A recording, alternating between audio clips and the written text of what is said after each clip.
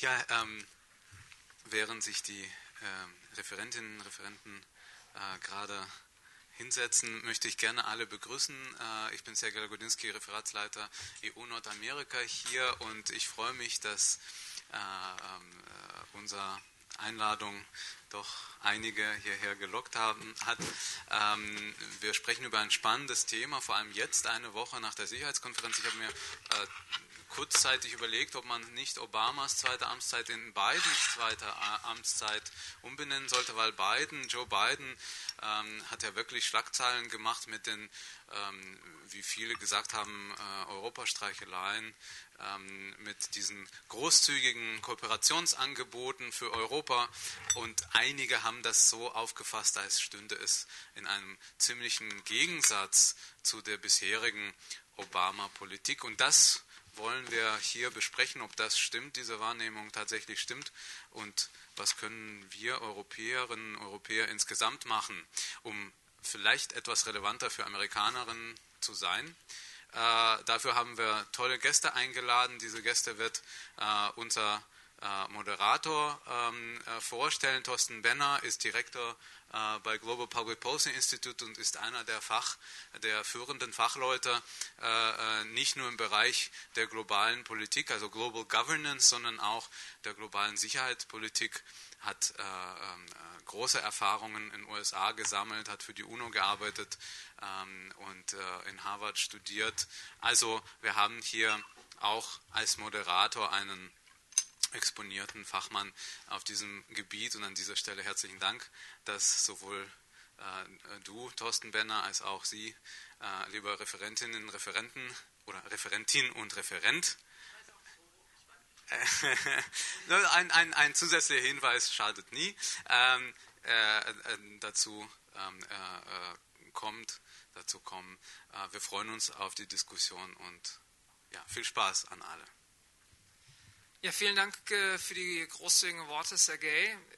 Ist mir eine große Freude, hier heute Abend äh, diese Diskussion zu moderieren, hier vor dem Publikum und auch äh, vor den Zuschauern, die uns über Livestream zuschauen können und natürlich auch per Internet uns Fragen später zurufen können, die wir dann hier auf dem Podium berücksichtigen werden. Es ist eine große Freude, zwei so ausgewiesene Journalisten und Publizisten heute Abend äh, hier zu haben, um über die Aussichten der transatlantischen Beziehungen, was ist zu erwarten in Obamas äh, zweiter Amtszeit.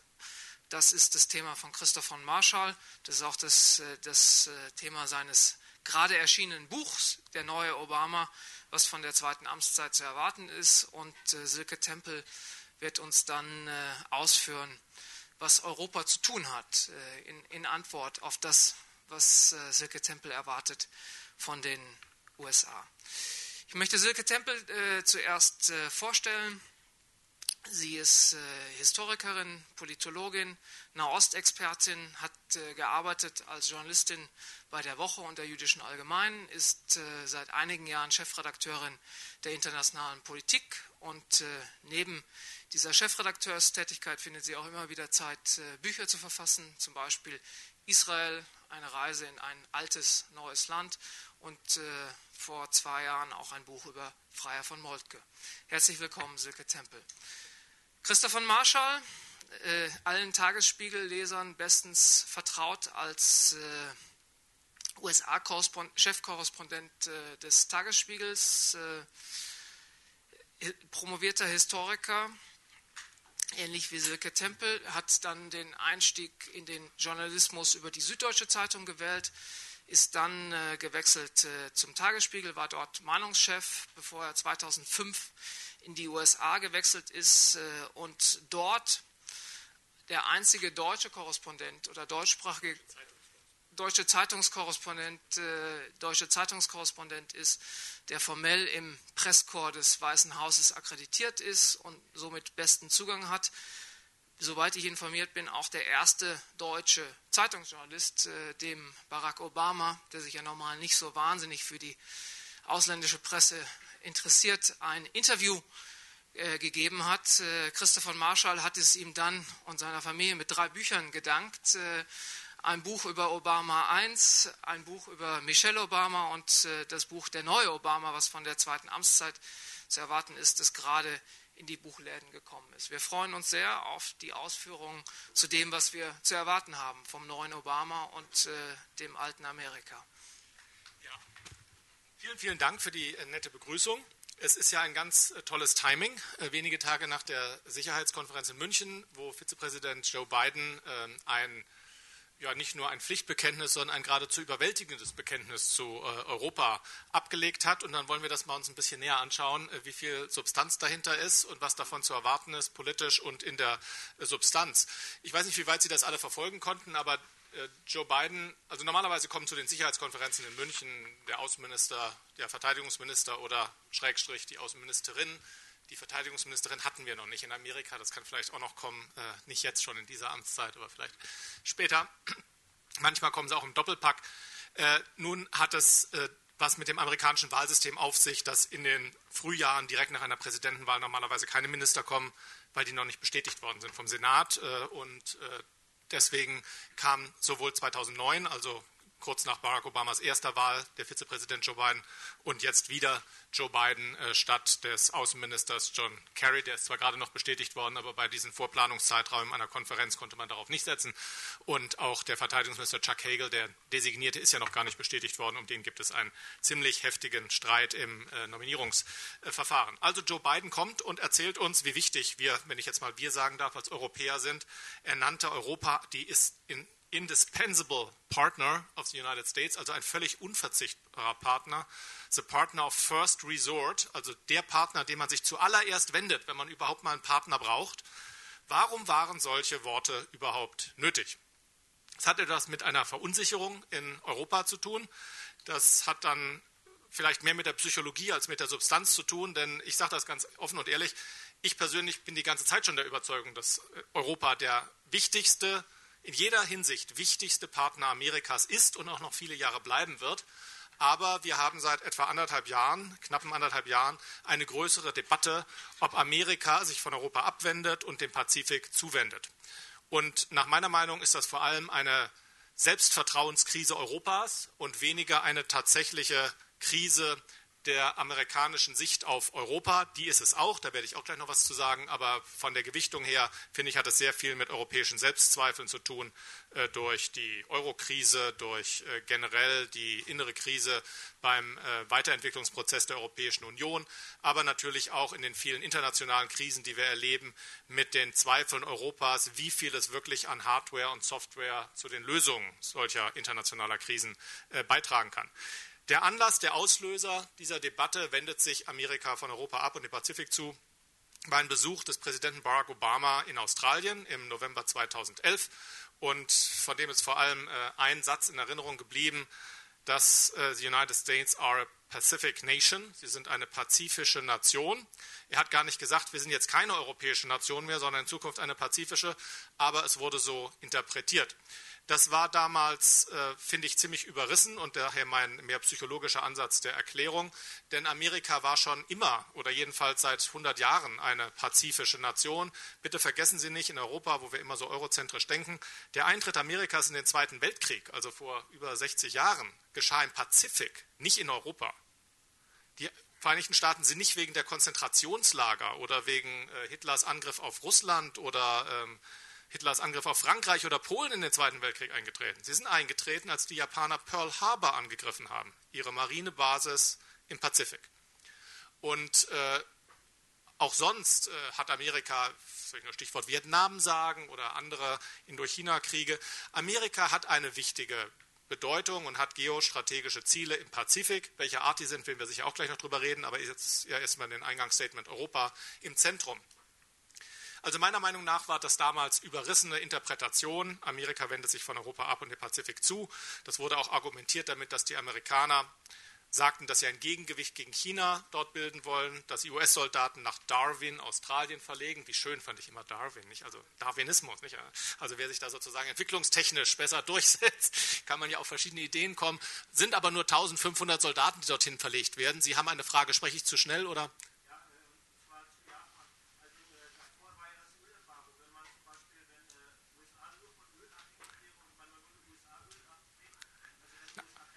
Na, ich, ich würde jetzt mal sagen, Inhaltliche, inhaltliche Fragen können wir vielleicht nacherklären, wenn jetzt reine Verständnisfragen sind oder jemand mich akustisch nicht versteht. Aber sonst würde ich vorschlagen, wir machen erstmal die Eingangsstatements, geben auch Silke Tempel die Gelegenheit, äh, und dann kommen wir sicher in die, in die, in die Debatte, wenn Sie, wenn Sie erlauben, dass ich Sie da noch um etwas Geduld bitte. Also, Barack Obama hält diese Rede in Europa eine gewisse Zutrauens-, Selbstvertrauenskrise. Ähm, warum bin ich der Meinung, dass das unzutreffend ist? Äh, wir Europäer sind wichtiger für Amerika, als wir uns das selber eingestehen und äh, wie wir uns vor allem in diesen Zeiten der Selbstbesinnung, der Krise, der inneren Krise, der Euro-Krise äh, das eingestehen. Die nackten Zahlen nach wie vor. Ich verstehe, dass alle auf Asien schauen wegen der Wachstumszahlen. Also wo ist im Moment die Dynamik, die Wachstumsdynamik am größten? Im Zweifel in Asien. Aber prozentuale Wachstums, also Wachstumsprozente hängen ja auch von der Ausgangsbasis ab. Nicht um, ich will jetzt gar nicht äh, Asien und China verkleinern, aber wenn ich jetzt einen Euro hier auf den Tisch lege und einen zweiten Euro dazu tue, dann sind das 100 Prozent Wachstum. Wenn ich hier einen 100-Euro-Schein liegen habe und den gleichen Euro dazu tue, dann ist es 1% Wachstum. Nicht? Also das Verhältnis, das Wirtschaftsverhältnis über den Pazifik ist wesentlich größer immer noch als das zwischen Amerika und Asien. 50 Prozent des Weltsozialprodukts werden in den USA und der EU geschaffen. Wir sind zusammen in den USA 310 Millionen Menschen, in Europa 420. Also wir kommen auf etwas über 700 Millionen Menschen von 6 Milliarden, produzieren aber die Hälfte des weltweiten Bruttosozialprodukts. Wenn Sie sich anschauen, wo die internationalen Investments hingehen, Direct Foreign Investment. Und das ist ja eine Zukunftsentscheidung. Man investiert dort, wovon man glaubt, dass noch in ein paar Jahren die Musik spielt. 60 bis 70 Prozent des weltweiten Foreign Direct Investment fließen in die, in die USA und in die Europäische Union. Nicht nach China, Indien, Japan, Korea. Dort fließt auch viel hin und es wächst dort, aber die wirklich zentralen großen Beträge fließen nach wie vor äh, hier. Ähm, Research and Development, Forschung und Weiterentwicklung. Wo werden die neuen intelligenten Produkte erfunden? 70 Prozent der weltweiten Forschungsausgaben werden in den USA und in der Europäischen Union getätigt. Nicht in Asien, China, äh, Indien und so weiter. Ich will ja nicht zu polemisch sein, aber ich stelle die Frage immer wieder und kriege dann manchmal Kopfschütteln oder ich sei irgendwie arrogant oder so. Aber es ist eine ernst gemeinte Frage.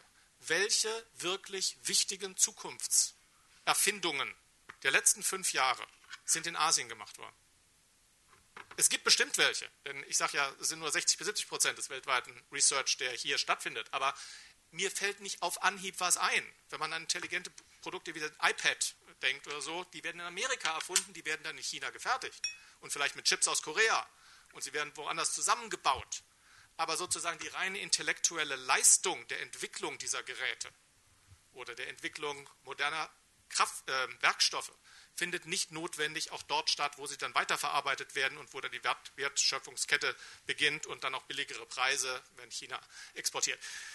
Es ist aber keineswegs nur die Wirtschaft. Es gibt nirgendwo auf der Welt ein solches, eine solche Wertegemeinschaft wie über den Atlantik, eine solche Militärgemeinschaft wie die NATO gibt es sonst nirgends. Und äh, natürlich äh, ist die amerikanische Geschichte, stützt sich im Wesentlichen auf die Vorläufer der europäischen Geschichte. Nicht auf, äh, das, das verändert sich. Amerika ist ein Einwanderungsland, inzwischen auch sehr stark aus Süd- und Mittelamerika, auch aus Asien kommen sehr viele Leute inzwischen dorthin. Aber sozusagen die Geistesgeschichte Amerikas wird immer noch dominiert vom europäischen Erbe und nicht von anderen Kontinenten. Also, wenn das alles so selbstverständlich sein müsste, wenn man nur die Zahlen kennen würde, warum war dann Bidens Rede überhaupt nötig? Warum musste der das sagen, dass wir sie indispensable Partner sind und sie Partner of uh, First Resort? Das hat eben mit dieser Zutrauenskrise zu tun, mit der Selbstvertrauenskrise in Amerika und Europa.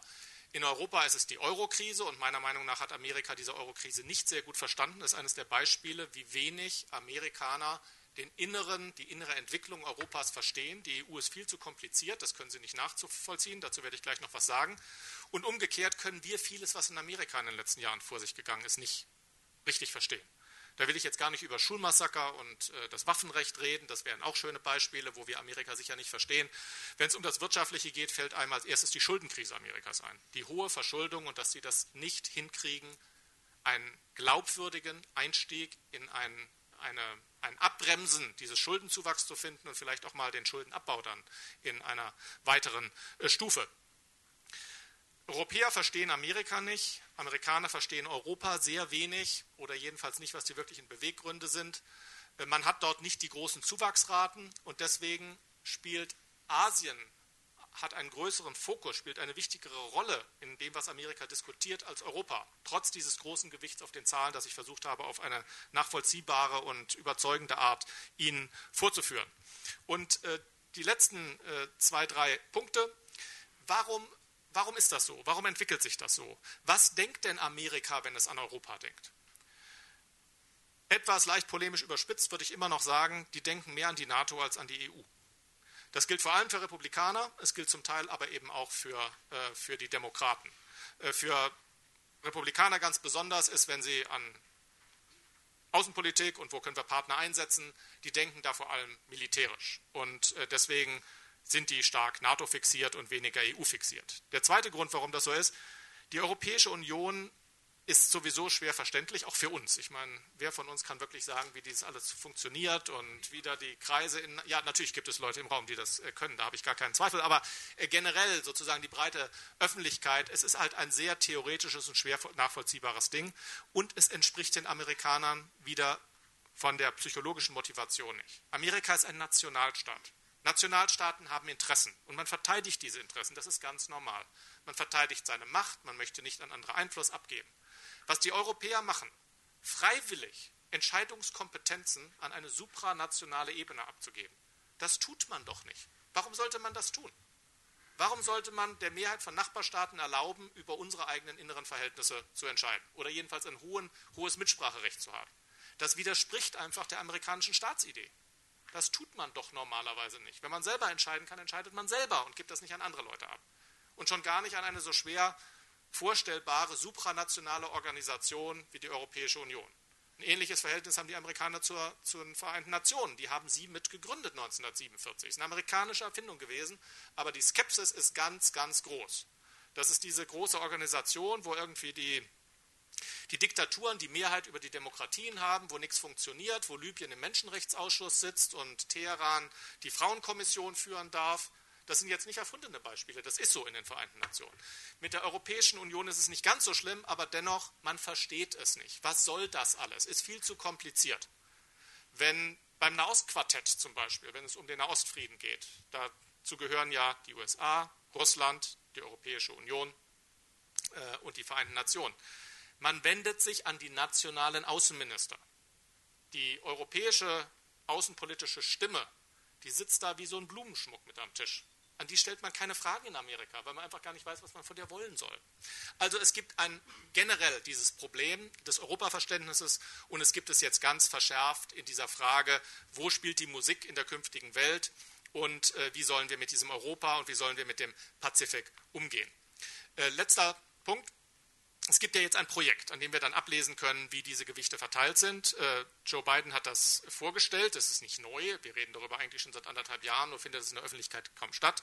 Das Projekt eines breiten transatlantischen Partnerschafts- und Freihandelsabkommens. Das umfasst theoretisch sehr viele Bereiche. Man kann fragen, wieso Freihandel? Wir haben doch längst äh, nahezu alle Zölle abgebaut zwischen NAFTA, also der nordamerikanischen Freihandelszone und der Europäischen Union. Ja, im Wesentlichen schon, aber es gibt immer noch Handelsbarrieren, zum Beispiel durch Standards. Ähm, angenommen, ein europäischer Autobauer möchte ein Auto in Europa und Amerika verkaufen, dann muss er das zweimal zulassen. Und die beiden Nationen oder die beiden Kontinente haben unterschiedliche Vorschriften gegen Branddämmung, für Kindersitze, wie die Scheinwerfer aussehen müssen, wie der Tank geschützt sein muss. Es wäre sozusagen viel, viel billiger, wenn wir einfach sagen würden, die Europäer haben hohe Standards, die Amerikaner haben hohe Standards. Die Tankdämmung, die in Europa okay ist, ist, wenn sie in Europa zugelassen ist, auch für Amerika okay. Und wenn die Amerikaner sagen, dieser Kindersitz ist in Ordnung, dann darf der eben auch in Europa verkauft werden. Das würde den Wettbewerbern sehr, sehr viel Geld ersparen. Da gibt es natürlich auch welche, die gar nicht daran interessiert sind, dass der Wettbewerber billiger auf den eigenen Markt kommt. Aber das nur mal unten drunter. Es gibt Probleme im Agrarbereich, weil in beiden Kontinenten der Agrarbereich stark subventioniert wird, auf unterschiedliche Weise, aber für die Europäische Union ist es uns ja bekannt. Auch in Amerika gibt es eine ganze Menge Farm-Subsidies äh, und das ist ein Problem, wie man damit umgeht. Und äh, dann gibt es natürlich besondere psychologische Themen. Ich sage nur mal GMO, also genveränderte Saatgüter oder Lebensmittel. Da haben wir Europäer ein ganz großes äh, Besorgnis, Bedenken dagegen. Und äh, die Amerikaner, muss man sich mal überlegen, die das nicht so bedenklich finden, die würden natürlich sagen, ein Moment mal, entweder volle Marktzulassung in beiden Richtungen oder gar nicht. Also ihr könnt das nicht aussparen. Das wird damit natürlich zum politischen Problem. Und das habe ich jetzt nur alles angetippt. Es gibt dann auch ein, ein, äh, ein politisches Problem darüber hinaus, ein organisationspolitisches Problem. Eigentlich wollen die Industrieverbände mit kleinen Ausnahmen, also von Ländern, von Industriebereichen, die sich gerne schützen wollen, aber generell wollen die Industriebereiche auf beiden Seiten dieses Abkommen haben. Sie wollen diese Erleichterung bekommen. Man schätzt, dass das bis über ein Prozent Wachstum auf beiden Seiten des Atlantiks auslösen kann. Und in Zeiten, in denen wir im Moment sind, mit einer Wachstumskrise, wo die üblichen Ankurbelungen von Wachstum bereits ausgeschöpft sind. Man kann nicht mehr viel staatliche Konjunkturprogramme machen. Die Staaten sind überall schon viel zu hoch verschuldet, als dass sie das selber in die Hand nehmen können. Man kann auch nicht mehr die Zinsen runtersetzen. Die Zinsen sind überall bereits schon nahezu bei Null. Es bleibt also nur so etwas als Wachstumsankurbelung, dass man sagt, es muss sozusagen aus dem Produktionsprozess heraus selbst kommen. Es müssen die Kosten heruntergefahren werden. Und das würden eben die Beseitigung von Handelsbarrieren würde Kosten senken. Das ist auch eine Art von Wachstumsankurbelung, würde beiden Seiten nutzen. Wir kommen zu den Fragen hinterher. Ja, können wir das vielleicht nachher diskutieren? Ich meine, ich finde das, muss jetzt wirklich sagen, ich finde das nicht so ganz höflich, wenn wir diskutieren. Ich werde gerne nachher Ihre Argumente anhören, aber vielleicht dürfen wir es erstmal vortragen und dann kann man ja, äh, kann man ja eingreifen in die, in die Debatte. Also da gibt es starke Interessen, aber eben auch starke Hindernisse. Das beliebteste Hindernis, der, das die Kanzlerin gerne nennt, ist, äh, sind die Hygienevorschriften für das Schlachten von Hähnchen. Die Amerikaner machten das nämlich mit Chlor, während wir andere Vorschriften haben, wie man das Hähnchenschlachten hygienisch einwandfrei macht. Und dann sagen die Politiker immer, dass wir letzten Endes ein Abkommen daran scheitern könnte, dass wir uns nicht darauf einigen, wie wir Hähnchen schlachten. Das kommt uns dann relativ absurd vor, wenn es um Wachstumsmöglichkeiten von bis zu einem Prozent geht. Und das allerletzte Hindernis, das politisch-organisatorische. Letzten Endes ist es eine Frage des Willens. Wenn man den politischen Willen hat, dass man das erreichen will, dann kann man Kompromisse schließen. Wenn man aber nicht glaubt, dass der Partner auf der anderen Seite diesen politischen Willen hat und tut, was nötig ist, damit es zu den Kompromissen kommt, dann fragen sich halt Politiker, ob sie selber das Risiko eingehen wollen. Und in der Situation sind wir. Und deswegen spielt die vorher beschriebene Zutrauenskrise eine so wichtige Rolle. Die Amerikaner sagen letzten Endes, wir wollen mit der EU was verhandeln. Die haben 27 Einzelstaaten. Können die sich überhaupt auf das Verhandlungsmandat einigen? Und wenn wir dann mal ein Verhandlungsmandat haben und monatelang gesprochen haben und dann kommt ein Kompromiss, der Griechenland hier wehtut, Spanien wegen was wehtut, den Deutschen wegen was wehtut, werden die dann alle über ihren Schatten springen oder beginnt dann wieder die Debatte, die 27 können sich nicht einigen? Amerika hat kein hohes Zutrauen, dass Europa liefern kann, wenn es darauf ankommt. Und deswegen ist die große Frage, welche Risiken der amerikanische Präsident eingehen wird, ob er sozusagen sich selber persönlich hinter diese Idee stellt oder nicht. Und die Europäer sagen umgekehrt, wir würden ja schon, aber Obama, der redet doch dauernd vom Pazifik, der redet doch gar nicht vom Atlantik. Wieso sollen wir dem eigentlich glauben, dass der das, also der kann am Ende nicht liefern, nicht? Und dann kommen Hinweise darauf, mit welchen Mehrheiten internationale Verträge im US-Senat verabschiedet werden müssen. Dann kann man durchzählen, wie viele dieser Senatoren aus Agrarstaaten stammen, also Agrarsubsidies, Agrarsubventionsinteressen haben. Man kann also von beiden Seiten sehr viele Zweifelsfragen stellen, ob es am Ende wirklich politische Priorität haben wird. Und dann ist dieses Zögern, wenn ich nicht glaube, dass die anderen das prioritär behandeln, warum soll ich politische Risiken eingehen? Und das halte ich im Moment für das größte Hindernis bei der ganzen Angelegenheit, ob wir dahin kommen. Wir haben also sehr, sehr schöne Worte von Joe Biden in München gehört. Wir haben ein klares Commitment des Vizepräsidenten zu diesem Projekt gehört aber wir wissen noch nicht so richtig, ob es auch das Projekt des amerikanischen Präsidenten ohne Fitze vorneweg sein wird, wenn er im Sommer nach Europa kommt zum G8-Treffen und möglicherweise bei dieser Gelegenheit auch nach Berlin kommen wird. Und dann freundlicherweise schon darauf hingewiesen worden, über die Erwartung an die zweite Amtszeit habe ich ein Buch geschrieben, das ist neu und vor allem über dieses spezielle Verhältnis zu Europa äh, und das Unverständnis, das es in dem Buch, das im vergangenen Jahr erschienen ist, was ist mit den Amis los, warum sie an Barack Obama hassen, was wir lieben, unter anderem ein Kapitel, was sie an Europa nicht verstehen. Wenn Sie das nachher interessiert, ich habe auch ein paar dabei und kann sie Ihnen auch signieren und ansonsten würde ich mich jetzt freuen auf die Gegenreden von oder Ergänzungsreden von Silke Tempel. Vielen Dank, Christoph von Marschall für diese pointierten äh, Ausführungen zur Psychologie des transatlantischen Verhältnisses, zur dahinterliegenden Politik. Und äh, Silke Tempel, wie sieht es aus? Dreht sich die Weltpolitik dann doch noch um das, nur um das transatlantische Verhältnis, äh, ist eigentlich alles in Butter, nachdem Joe Biden uns das signalisiert hat, was sollen wir von Amerika erwarten und was wollen wir vor allen Dingen als Europäer wollen.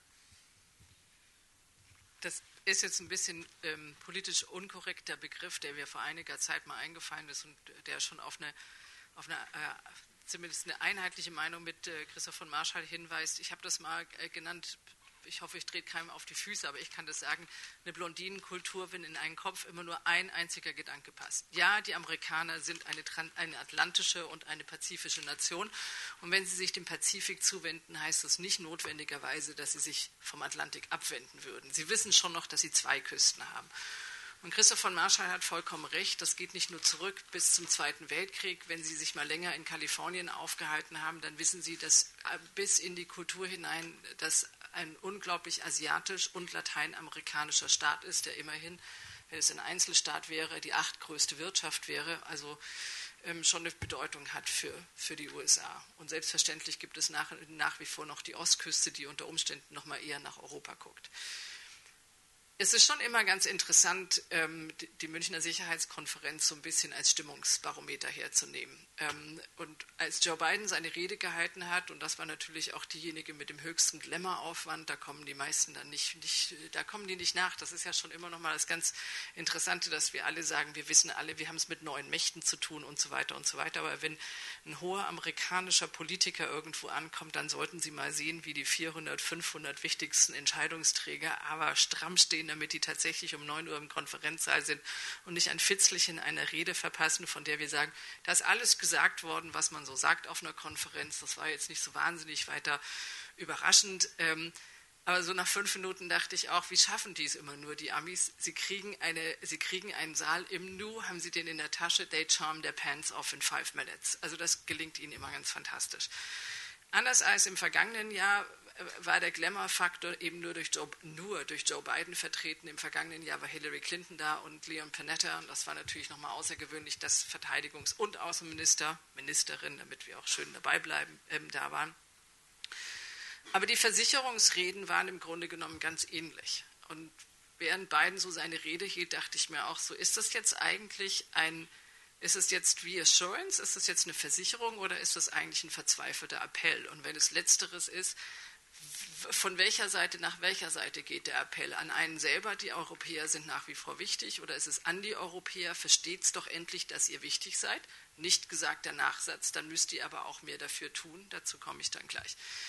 Was sich Gott sei Dank in dem Verhältnis ähm, wesentlich verbessert hat, ist, im vergangenen Jahr war dieser Schreck über den Pivot to the Pacific in, der, in dieser sogenannten außenpolitischen Community sehr viel größer. Da war plötzlich wirklich, was, was, was, lassen die uns jetzt alleine? Ähm, Geht es jetzt wirklich nur noch um Pazifik? Äh, Geht es jetzt um, um, China oder äh, was ist mit den transatlantischen Beziehungen? Das hatte gar nicht so sehr mit dieser Rede zu tun, sondern tatsächlich genau mit den Verunsicherungen, die Christoph von Marschall angesprochen hat. Die USA, es wurde beständig darüber geredet, dass die USA eben im Untergang begriffen seien, the US in decline. Ähm, das hat man hier in Teilen der Medien mit so einer ganz leichten Helme aufgefasst, aber im Großen und Ganzen auch mit einer, mit einer enormen Unsicherheit, weil das im Nachklang einfach auch immer bedeutet, wer gibt denn dann die Sicherheitsgarantien für bestimmte Dinge? Wer gibt denn dann auch die Sicherheitsgarantien für gesicherte Handelsrouten am Ende? Im pazifischen Raum und so weiter und so weiter. Wer wird denn dann im Großen und Ganzen Probleme, die auftauchen, mehr oder weniger zu unserer Zufriedenheit, so wie wir es wünschen oder ganz anders, als wir uns wünschen würden, ähm, lösen? Wir haben ja, und das ist ja eines der großen Probleme, zwar neue Mächte, die sich nicht die Emerging Countries nennen, auch bei dieser Sicherheitskonferenz wieder, sondern die Re-Emerging Countries, also diejenigen, die eigentlich immer schon Platz hatten, die eine Weile während des Kolonialismus verloren haben und jetzt eigentlich wiederkommen. Aber von diesen Ländern hören wir eigentlich nicht viel, was sie sich an Ordnungsvorstellungen so, so denken, sondern es ist im Grunde genommen ja immer nur die Aufforderung, wir wollen mit den Großen mitspielen, weil wir selber Große sind. Aber wir teilen eigentlich so richtig nicht mit, was wir möchten. Wir möchten auf Augenhöhe reden und das ist dann immer schon die Hauptaufforderung. Das heißt, die große Angst, dass dahinter ein sicherheitspolitisches Vakuum lauert, die ist schon da. Die ist auch immer noch ein Stück da, aber was sich wirklich auch verändert hat, ist diese unmittelbare Aufregung, die eben durch dieses ganze US in Decline und äh, die wirtschaftliche Situation der USA, die USA im Niedergang und so weiter entstanden waren, aber eben selbstverständlich auch durch die Eurokrise. Denn sowohl die Europäer haben so ein bisschen äh, ähm, vertrauensvoller geklungen, was die Eurokrise betrifft, als auch die USA. Die Europäer können durchaus sagen, wir haben es noch nicht gänzlich hinter uns. Aber meine Güte, erinnern Sie sich dran, ich habe damals sehr gelacht. Ähm, vor ein paar Monaten hat George, Soros im Spiegel noch in aller Ernsthaftigkeit behauptet, in vier Tagen wäre es mit dem Euro vorbei. Und vier Tage vergingen und keiner ging her und hat George Soros diese Spiegelausgabe um die Ohren geklatscht. Ähm, was er eigentlich verdient hätte, dann die Märkte in eine dermaßige Aufregung nochmal wieder zu versetzen, ohne hinterher die Verantwortung zu übernehmen, für die schon recht pikant. Also da war das Selbstbewusstsein etwas größer. Auf der europäischen Seite immer wieder dieses, wir, wir, können mit Sicherheit sagen, dass wir das Projekt Euro so schnell nicht den Bach runtergehen lassen und wir tun einiges, um es zu sichern. Auf der amerikanischen Seite war mein Eindruck schon der, wir sehen, dass es unter Umständen geht. Und das hätte man vor einem Jahr nicht gedacht. Wenn Sie vor einem Jahr die amerikanischen Zeitungen aufgeschlagen haben, hätten Sie gedacht, nicht nur der Euro, sondern ganz, das ganze europäische Projekt Europäische Union geht den Bach runter. Die, die Kluft in der Wahrnehmung zwischen Europa mit Ausnahme Großbritanniens, was in diesem Fall völlig im Anglo-Raum gewesen ist.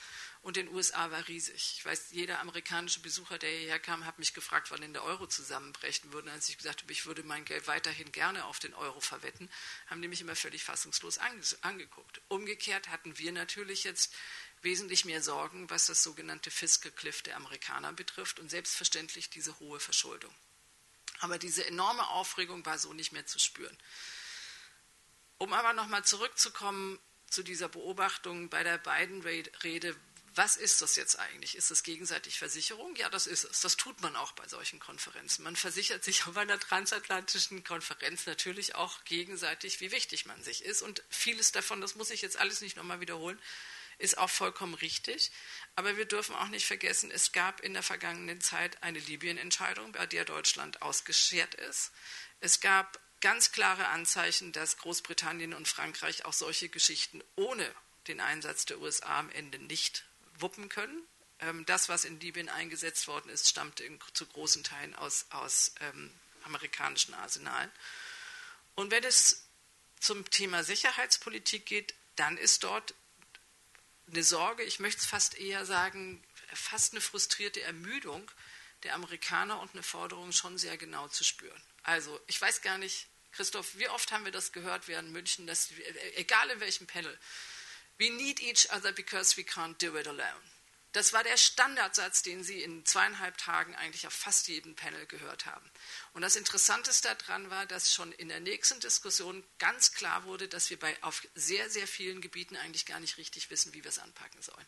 Das fängt mit Freihandel an, wo wir uns um Chlorhühnchen oder Chloreinsatz bei der Schlachtung von Hühnchen nicht einigen können. Und wenn Sie, sich, wenn Sie das bedenken, in 60 Jahren transatlantischer Partnerschaft ist es bis heute nicht gelungen, ein solches Freihand, transatlantisches Freihandelsabkommen abzuschließen. Das ist eigentlich absurd. Ähm, das geht hin ähm, bis zu der Frage, wer steigt eigentlich wie in Verteidigungsfragen ein? Ist es die EU? Die Franzosen möchten das. Die Briten möchten es nicht so gern und die Deutschen wissen nicht, was sie wollen. Ähm, oder wird es eher NATO sein? Das ist natürlich genau der Mechanismus, der den Amerikanern am ehesten passt. A, haben wir da die Türken mit dabei, das ist ihnen wichtig. B, sind da Mechanismen etabliert, die, die schon vorhanden sind. Das heißt, bei dieser gesamten Frage, wir wollen gerne miteinander, wir wollen gerne mehr miteinander machen, wir müssen es auch miteinander machen, sehen Sie an allen Ecken und Enden, wie es knirscht und wie im Grunde genommen auch an die Europäer die Nachfrage kommt, was seid ihr denn bereit beizutragen? Do you get your act together? Und das ist nicht nur die Schwierigkeit, selbst ich, ich glaube schon, dass man im, im, im, im politischen Establishment in, in, Washington ist man doch nicht zum ersten Mal mit der EU konfrontiert. Man weiß, wie schwierig das ist, wobei man, glaube ich, noch mal anders redet, wenn man im unmittelbaren Prozess weiß, dass man im Zweifelsfall Kompromisse finden muss zwischen 27 Mitgliedsländern oder auch nur zwischen einem schmaleren Kreis von Mitgliedsländern. Kompromisse sind immer nicht so ganz einfach.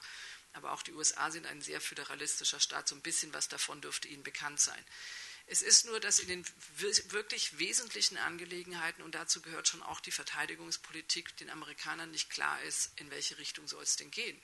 Denn so sehr das Projekt mitbegleitet wird, dass man Souveränität aufgeht, so sehr beobachtet man natürlich auch, dass es genau in diesem Bereich eigentlich gar keinen klar vorgezeichneten Weg gibt. Und es wird Sicherheitsaufgaben geben, in denen sich die Amerikaner unter Umständen in der nächsten Zeit zurückziehen. Also eines der ersten Panel am zweiten Tag, das ist immer der vollste Tag, war mit das Spannendste. Und da geht es um Themen, die Heinrich Böll natürlich auch sehr beschäftigen. Es gibt auch einen ganzen, schon einen ganzen Bericht dazu. Und das ist Shellgas, also Schiefergas und unkonventionelle Förderungen von Schiefergas. Und es ist vollkommen klar, dass selbst wenn die höchsten Erwartungen an das, was da an Erdgas gefördert wird, vielleicht nicht eintreffen, sich die geopolitischen Grundlagen enorm ändern werden. Die USA sind mehr oder weniger auf dem Weg, zu, einem, zu einer Petronation zu werden, wenn man es jetzt mal ein bisschen übertreibt. Das heißt, das wird geopolitische äh, Konsequenzen haben. Das kann sein, auch wenn der Energiekommissar das auch gemacht hat und die Europäer, den Europäern nochmal versichert wir werden uns weiterhin um Sicherheitsinteressen in der Straße von Hormuz kümmern, wo die Europäer den größten Teil ihres, ihres, ähm, äh, ihrer Energie beziehen. Wir werden uns da nicht zurückziehen. Aber es heißt schon, dass es durchaus sein kann, dass die Amerikaner sich ein bisschen mehr auf sich selbst besinnen und dass die Frage kommt, wo und wie und mit welchen Mitteln wollen wir uns eigentlich engagieren. Das heißt, dass die Rede vom Decline of America in der nächsten Zeit wahrscheinlich vorbei ist, aber das heißt noch nicht, dass dieses Engagement bleibt. Und mein Eindruck war, dass man immer so ein bisschen auf Europa guckt und sagt, und ihr jetzt?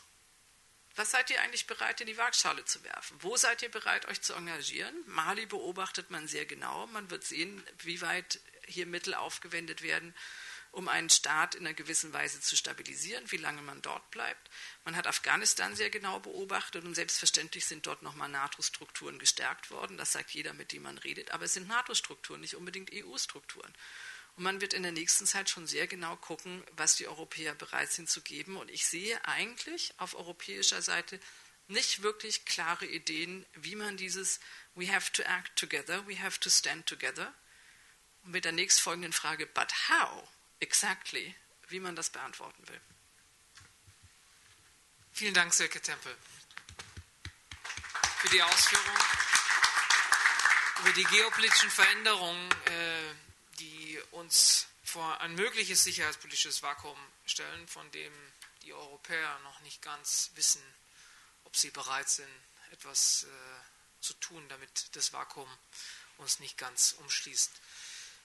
Es deutete sich eben schon an, es gibt einige Fragen im Publikum. Äh, wenn Sie so nett sind, äh, sich kurz zu identifizieren, vorzustellen und äh, dann Ihre Frage kurz und pointiert zu stellen. Wir freuen uns auf Fragen und Beiträge.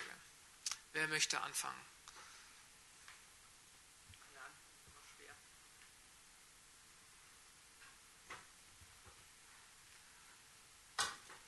Bitte sehr. Sie kriegen.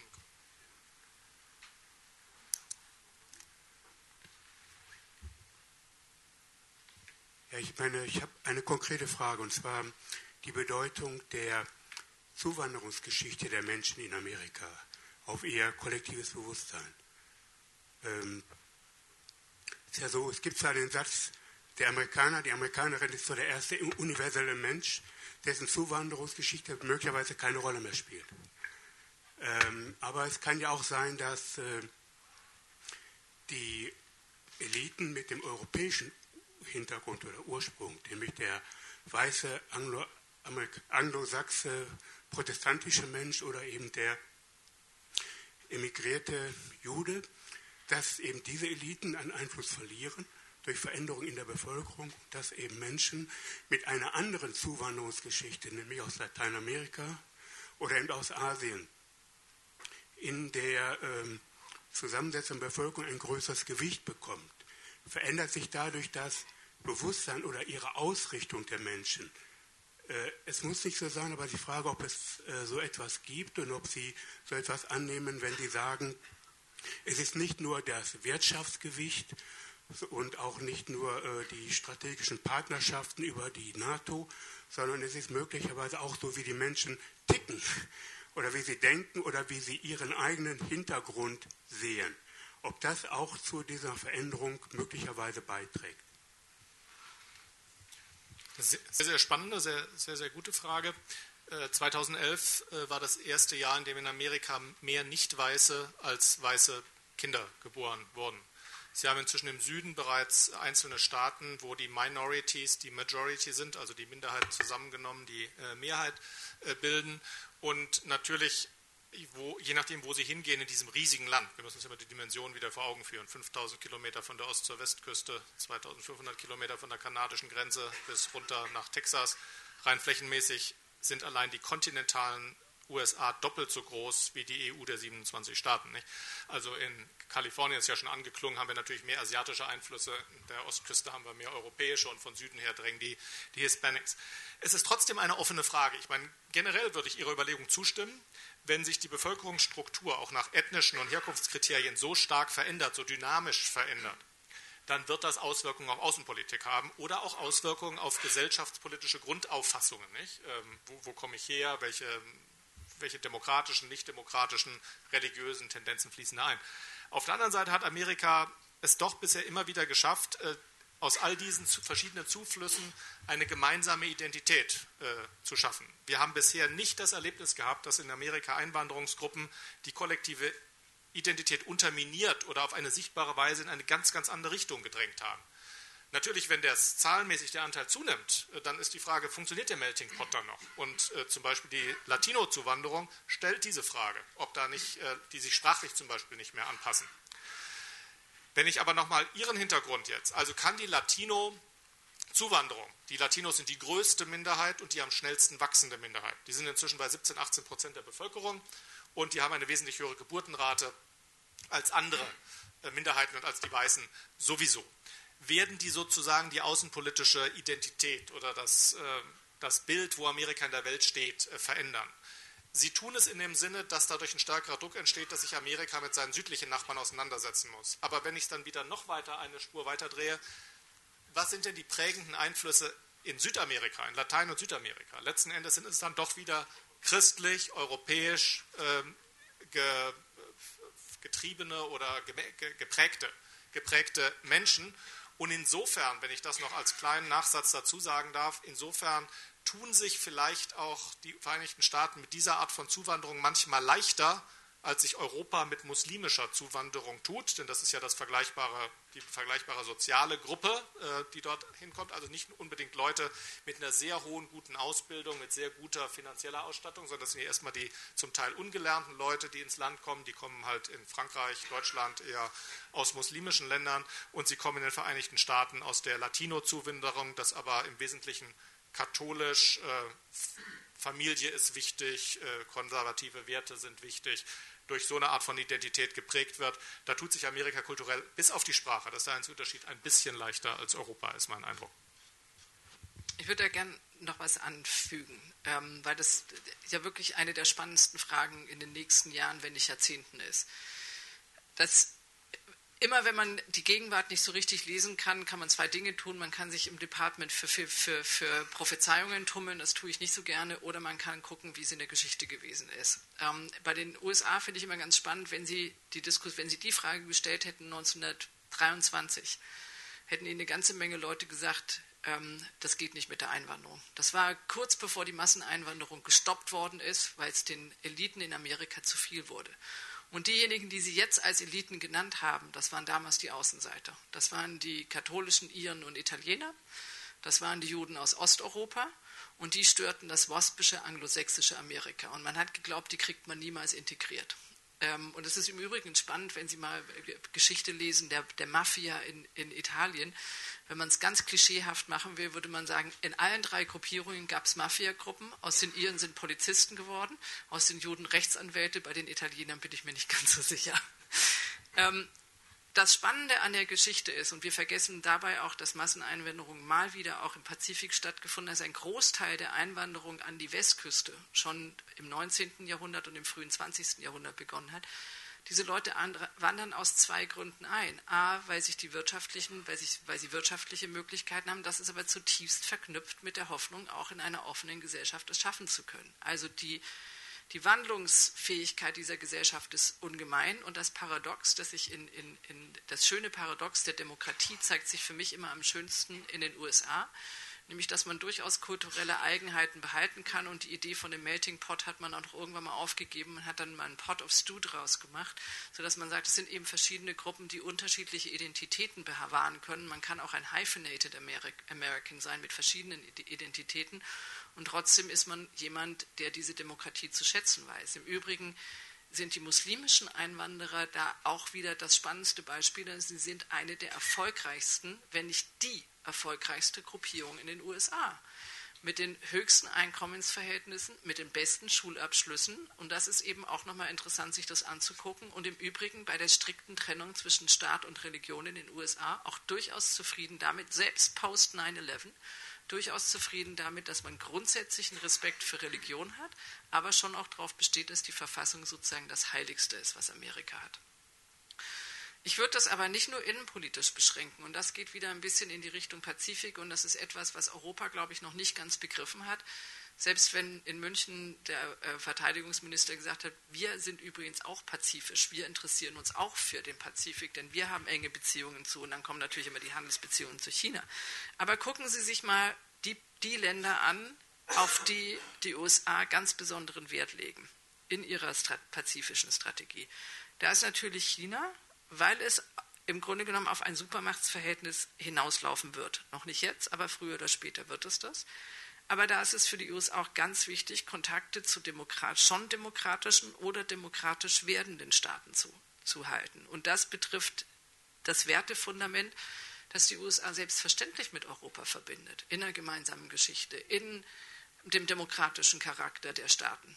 Wobei wir da auch mal wieder nicht vergessen dürfen, bis 1945 war das nur ein einziger Staat in Europa, der demokratisch war, und das war Großbritannien. Der Rest hat erst danach angefangen. Alle anderen Staaten waren zu dieser Zeit alles andere als demokratisch. Und das ist etwas, was ungemein wichtig ist. Ich glaube, wenn man Nachrichten 1939 gab es ähm, 1909, nach dem Ende der Tschechoslowakei, war, glaube ich, Großbritannien das einzige demokratische Land. Na, die Skandinavier müssen wir noch mit dazu rechnen. So, aber das ist etwas, was für die USA in der geopolitischen Strategie durchaus enorm wichtig ist. Wo sind die zwei, im Zweifelsfall die demokratischen Bündnispartner in dieser Region? Und da gibt es ja einige. Die Rede ist doch nicht von ungefähr in Australien gehalten worden. Es gibt Neuseeland, es gibt Indien, es gibt Südkorea, es gibt Thailand. Warum glauben Sie denn, war Hillary Clinton so oft in Burma? Wobei es nicht nur ähm, äh, ähm, Oppositionspolitikerinnen in Myanmar geschuldet ist, dass dieser Staat sich demokratisch verändert hat. Das war schon auch eine Entscheidung dieser äh, Militärregierung, dass man sich langsam zu öffnen hat. Also das, es kann in Zukunft eben auch eine Wertepolitik in den Pazifik hineingeben, weil das dann eben doch die näheren Partner sind. Vielen Dank. Sie hatten sich gemeldet. Ja, mein Name ist Frank Wende, ich komme aus Berlin-Spandau. Ich habe drei Fragen. Ich möchte erstmal wissen, wie wird sich die NAFTA äh, im Verhältnis zu den USA entwickeln unter der zweiten Amtszeit Obama, also äh, sprich Kanada, USA und Mexiko. Und äh, zweitens, wie werden sich die wirtschaftlichen Beziehungen zu Lateinamerika zwischen den USA und, äh, entwickeln? Denn äh, die sind ja jetzt groß im Kommen. Äh, Rohstoffabkommen. Frau Merkel war ja Gott sei Dank in Brasilien äh, in der, auf der Lateinamerika-Konferenz und hat sehr für Deutschland geworben, dass wir ein Rohstoffabkommen bekommen. Wie läuft das mit den USA? Brasilien ist groß im Kommen, Argentinien, Peru, Chile. Wie wird es da weitergehen? Und meine dritte Frage, äh, an den Besuch von, äh, von Joe Biden äh, anknüpfend, werden wir nicht auch mal, und das finde ich Zeit, ein gemeinsames Raumfahrtabkommen bekommen zwischen, den, zwischen Europa und den USA.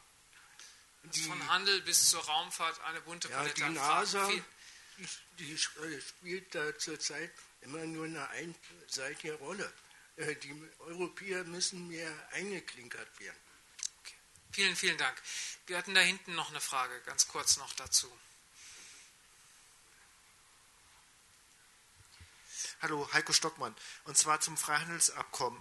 Ähm, ganz einfach gesagt, äh, macht man ja diese Zölle, macht man als für, für den Schutz der Unternehmen und äh, dass die Unternehmen weiter produzieren können und äh, ja und äh, letztendlich, äh, wenn man das äh, mal betrachtet, dann wenn man Zölle abbaut, wurde das, die, wurde man, also geht das nur, wenn die Lohnkosten so ähnlich sind und beziehungsweise die Lohnkosten sind dann verschieben sich dann irgendwie und die Produktkosten müssten ja auch ungefähr, also es kann nicht sein, dass in einem Land ein Produkt okay. teuer und billig ist. Und, Vielleicht könnten Sie kurz äh, die Frage zuspitzen, weil wir ja nicht in der Ökonomie-Einführung hier sind. Äh, ja, es ist nicht so einfach, ein Freihandelsabkommen abzuschließen, weil das dem Schutz äh, von Unternehmen oder dem Staat überhaupt äh, seiner eigenen Wirtschaft dient. Und deswegen ist das äh, eigentlich Illusion, wenn man das so einfach so haben will. Okay, vielen, vielen Dank. Freihandel wurde gefragt. Äh, NAFTA die Schwierigkeiten des Freihandelsabkommens, äh, wie sieht es aus mit dem Handel mit äh, Südamerika? Ich, ich versuche es äh, möglichst äh, flott zu machen. Also NAFTA, dazu gehört außer Mexiko ja noch Kanada, nicht? Also ist die Kanada äh, und da, das ist ein ziemliches Gefälle. Äh, Mexiko ist ja keine sehr dynamische Wirtschaft, sondern eher krisenanfällige eine stark aber auch von Rohstoffen getragene Wirtschaft. Wir sind ja daran erinnert worden, als wir die Ölkrise im Golf von Mexiko haben, dass es da eine ganze Menge Ölförderung gibt, der zum Teil auch von äh, Mexiko kommt und jetzt nicht nur und von internationalen Unternehmen, die jetzt vor der amerikanischen Küste sind. Auch Kanada ist zurzeit vor allem energiegetrieben. Ähm, das, der ganze Versuch, die Ölsende auszu, ähm, auszunutzen, die dann auch zum Fracking geführt haben, das ist ja letzten Endes hat in Kanada angefangen und hat sich dann erst auf äh, die USA erstreckt. Wohin geht das? Das ist, das ist eine, also USA und Kanada sind rein wirtschaftlich sehr stark miteinander verzahnt. Das geht so weit, dass dieselben Autos gefahren werden, dass wenn sie über die Grenze gehen, dieselben Supermärkte da sind. Sie können, wenn sie so eine Rabattkarte vom amerikanischen Safeway haben, können sie doch im kanadischen Safeway benutzen. Die sind nur politisch sehr unterschiedlich. Nicht? Also die Kanadier sind sozusagen die, die demokratischen Skandinavier, die Europäer und Skandinavier Nordamerikas, genauso. Glauben an Sozialstaat, an Integration, also an vieles, was die US-Amerikaner jedenfalls mehrheitlich nicht so ganz glauben. Und ähm, Mexiko hat eben zurzeit eine Sonderentwicklung, leider auch eine sehr krisengetriebene Sonderentwicklung mit dem ganzen offenen Kampf der Rauschgiftkartelle. Ist eine der most underreported stories äh, in Europa.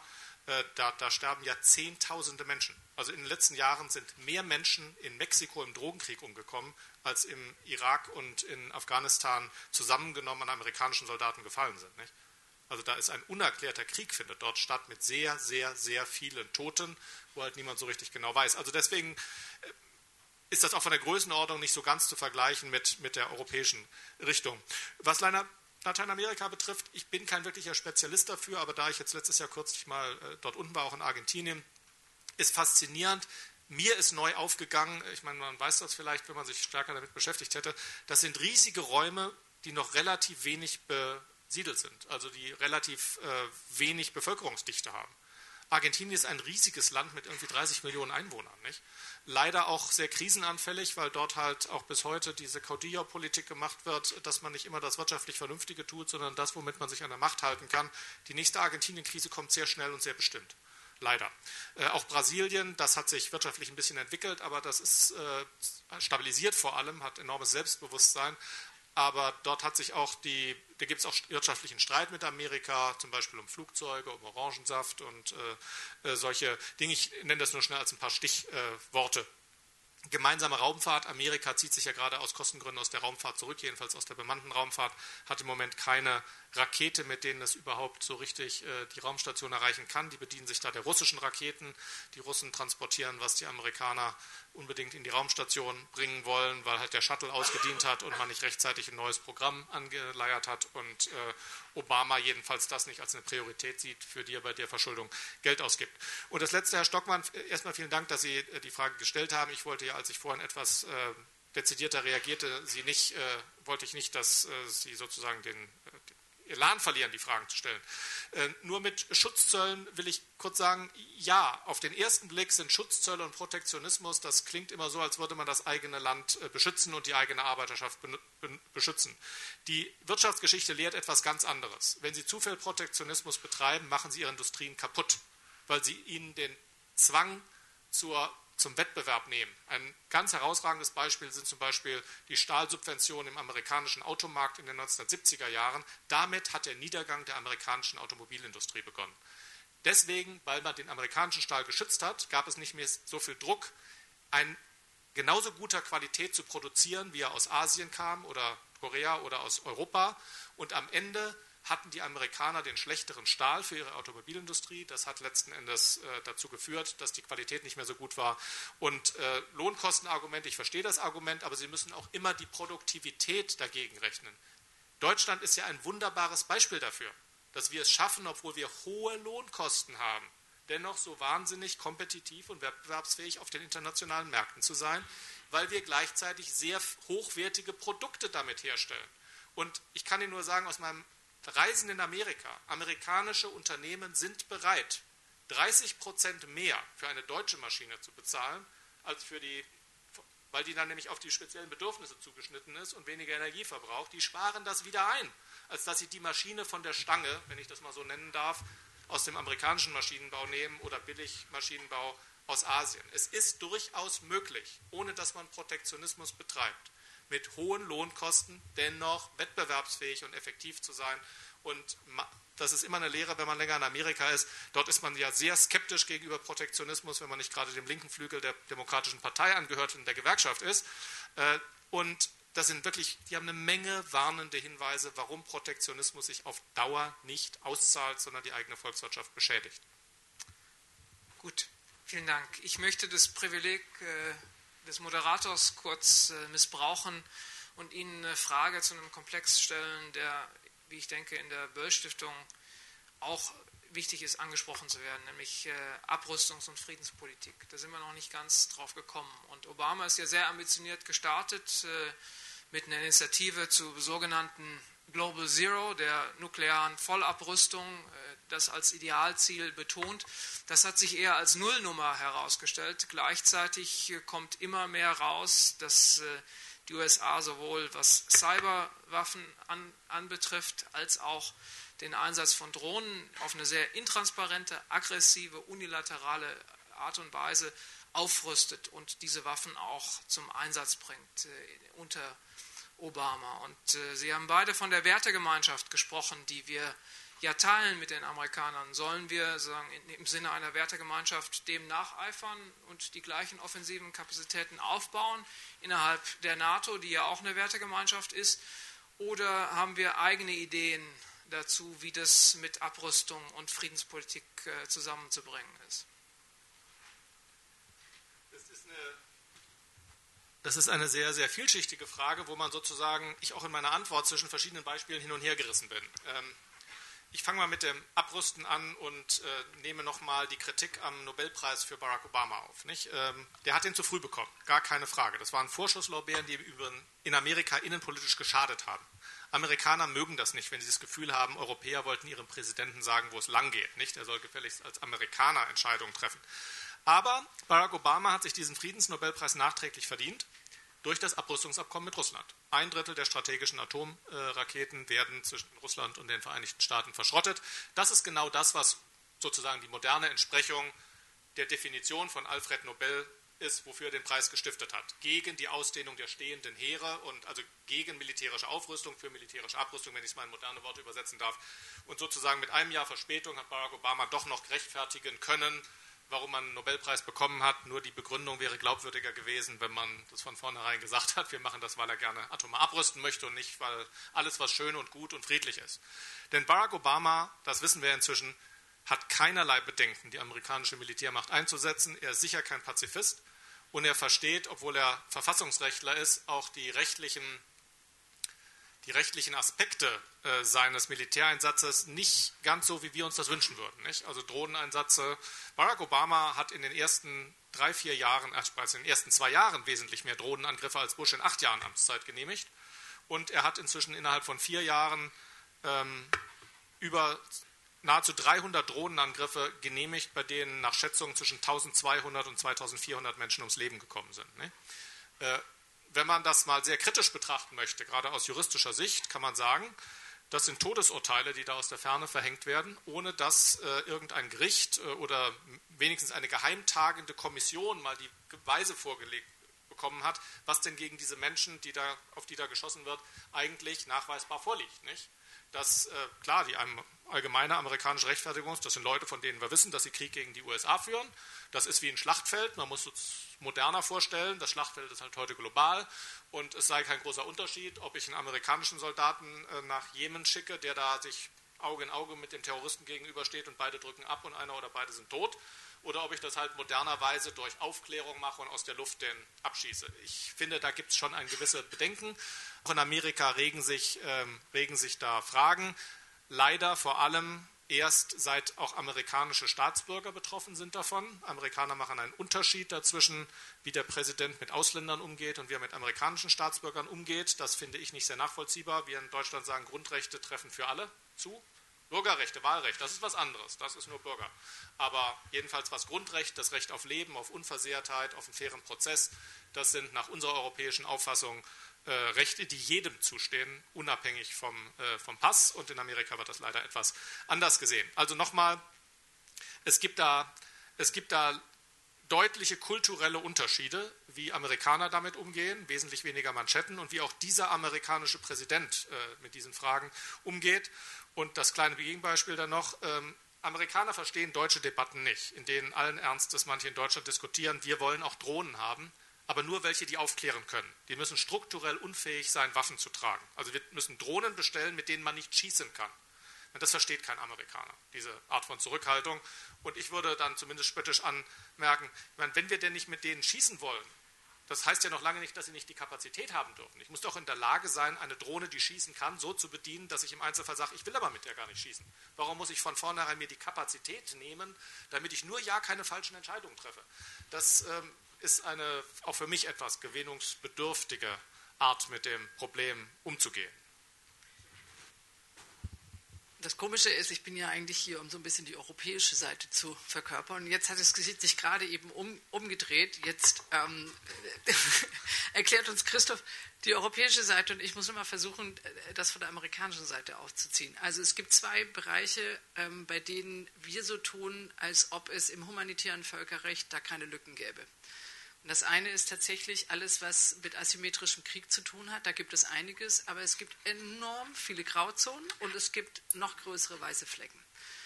Und das heißt, äh, Christopher Marschall hat es gerade angesprochen, ich meine, hier werden Menschen getötet, ähm, gegen die kein Gerichtsbeschluss vorgilt, noch nicht mal eine Kommission und so weiter und so weiter.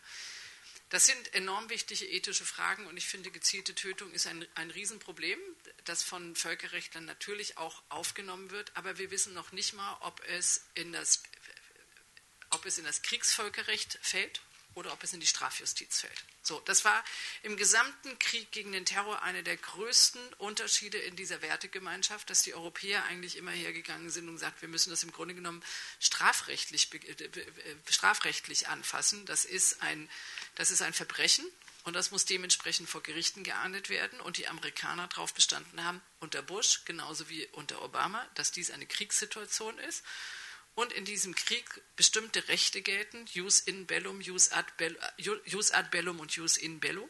Also das sind äh, diese zwei verschiedenen Regelung, Grobregelungen, wenn man so sagt, wann habe ich überhaupt das Recht, Krieg zu führen. Und die Amerikaner haben es sozusagen als Initialzündung selbstverständlich 9-11 als Angriff auf ihr Territorium verstanden. Und welche Rechte habe ich im Krieg? Und das Problem sind für die Amerikaner nicht die ich sage es jetzt mal sehr flapsig, obwohl, ich, obwohl es mit enormen ethischen Implikationen verbunden ist, das, das Problem für die Amerikaner sind nicht die bösen Jungs, die sie ausknipsen.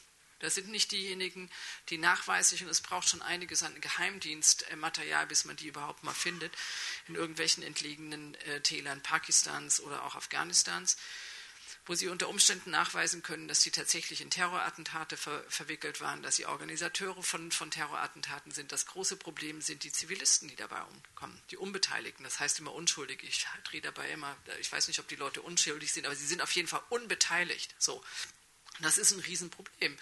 Und die Anzahl der Menschen, die da getötet worden ist, ist enorm. Und deswegen ist es ein, ein, ein Riesenthema für humanitäres Völkerrecht. Und die europäische Aufsicht, die europäische Ansicht darauf ist immer die, dass sie so tut, als sei das alles geklärt. Tut, ist es aber nicht. Das zweite große Gebiet, in dem wir noch nicht mal großartig eine Landkarte haben, ist alles, was mit Cyber zu tun hat. Ich meine, es ist, es ist wirklich schön, dass Sie nachfragen, wie sieht es denn aus mit Raumfahrt? Raumfahrt ist gar nicht mehr das Thema im Augenblick, sondern es ist alles das, was mit Cyber Security und am Ende Cyber Warfare zu tun hat. Einer der großen Skandale in der, in, in der jüngsten Zeit war New York Times, die äh, nach Berichten über Korruption ähm, bei, in der Familie von Wenjubao und, und, und anderen riesengroßen, gut recherchierten Bericht gehabt, die über acht Monate lang gehackt worden sind. Das sind fast noch harmlose Sachen gegen die Anzahl und die Art und die Seriosität der Attacken, die es nicht nur von China gibt, da ist einiges irgendwie zu, zurück, äh, äh zurückverfolgbar. Aber da ist es vollkommen klar, dass die Amerikaner in die Offensive gehen würden. Das war übrigens auch interessant. Auch das ein Panel bei der Münchner Sicherheitskonferenz über ähm, Cybersecurity und Cyberwarfare. Ich weiß nicht, ob Ihnen bekannt ist, dass wir für solche Angelegenheiten sogar eine EU-Kommissarin haben, namens Nelly Kröß, würde den meisten nicht bekannt sein. Da geht es hauptsächlich um wirtschaftliche Dinge. Aber das ist ein Schlachtfeld. Und in diesem Schlachtfeld werden sich die Amerikaner nicht nur defensiv äh, bewegen. Und auch dort gibt es enorme weiße Flecken im Kriegsrecht. Wie, wie, was geht denn da überhaupt als Attacke? Mit welchen Mitteln darf denn zurückgeschlagen werden? Ich meine, wir haben, das ist immer kurz aufgetaucht und dann sofort wieder Physik, diese Diskussion, als, als ähm, Stuxnet ähm, iranische Kaskaden und, und, und ähm, Zentrifugen lahmgelegt hat. Das war eine größere Attacke auf ein anderes Land. Auch wenn wir wahrscheinlich alle hier sagen, naja, wenn man Zentrifugen auf diese Weise lahmlegen kann, das ist ja beinahe friedlich. Wobei das Problem dann auch schon wieder ist, dass diese, dass diese unglaublich komplizierten Viren in Teilen wiederverwendet und auch wieder gegen den Verschicker der Viren eingesetzt werden können. Das ist ein Feld, das in seiner Dimension überhaupt noch nicht ausgemessen ist, nicht ausmessbar ist. Und eines ist vollkommen klar, auch da, auch unter diesem Präsidenten werden die Amerikaner eher offensiv als defensiv handeln. Vielen Dank, äh, Silke Tempel und Christoph von Marschall. Morgen früh stellt diese unbekannte Kommissarin Nelly Kröß die europäische Strategie für Cybersicherheit in Brüssel vor. Da werden wir vielleicht ein bisschen mehr wissen, welche Ideen die Europäer für diese weiße Landkarte haben. Gibt es weitere Fragen aus dem Publikum? Sonst, sonst möchte ich noch. Gregor Ernste. Stichwort Russland, Staat, gibt mir die Gelegenheit, noch Platz für Europa in Amerika, zumindest äh, ganz hinten in Osteuropa haben wir Moskau.